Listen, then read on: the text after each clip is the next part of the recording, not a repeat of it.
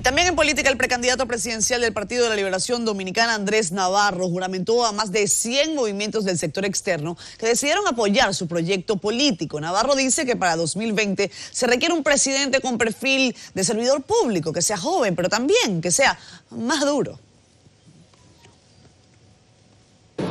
Algo que nunca había pasado en nuestro país, pero va a pasar el 6 de octubre en las primarias del Partido de la Liberación Dominicana.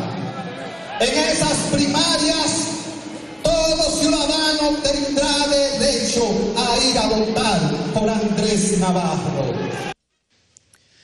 Bueno, Navarro prometió que de alcanzar el poder va a emprender una suerte de acciones para que haya más seguridad en el país.